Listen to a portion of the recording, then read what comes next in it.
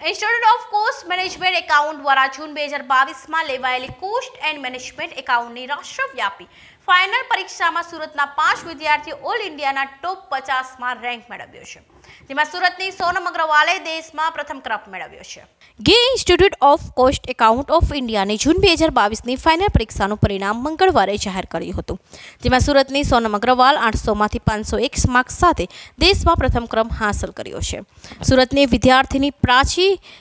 કરનારીએ આઠસોમાંથી ચારસો બાણું માર્ક્સ સાથે ચોથો ક્રમ મેળવ્યો છે. અને રિદ્ધિ અગ્રવાલે આઠસોમાંથી ચારસો નેવ્યાસી માર્ક્સ સાથે પાંચમો મેળવ્યો છે.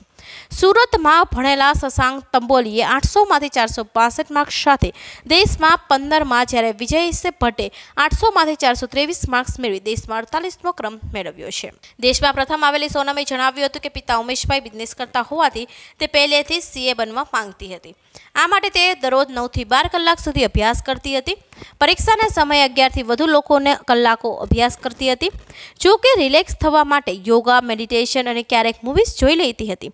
તે કહે છે કે પહેલેથી જ સખત મહેનત અને નોટ્સ તૈયાર કરીને એકાગ્રતાથી અભ્યાસ કરવામાં આવે તો સફળતા જરૂર મળે છે. સીએની ફાઇનલ પરીક્ષામાં ઓનલાઈન મોડમાં લેવાઈ હતી. જો કે હવે આ પરીક્ષા ઓફલાઈન મોડમાં લેવામાં આવશે. જીએમ ઇન્સ્ટિટ્યૂટ ઓફ દ્વારા જે પ્લેસમેન્ટ પ્રોગ્રામ થાય છે, તેમાં પણ સીએની ડિમાન્ડ ઘણી રહે છે.